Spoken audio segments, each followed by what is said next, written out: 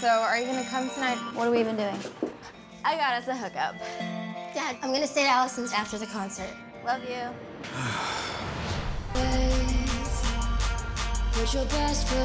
These parties are legendary. Only the hottest of the hottest get to party. Did Christian Booth just check you out? He rolls with like three or four actors. They go wherever they want, get whatever they want. I've been watching you. I brought you something. This way I can be wrapped around you all the time. You're actually dating a movie star. You know they're all 17, right? Dad! I really care about her. Yeah, I'm gonna take them home.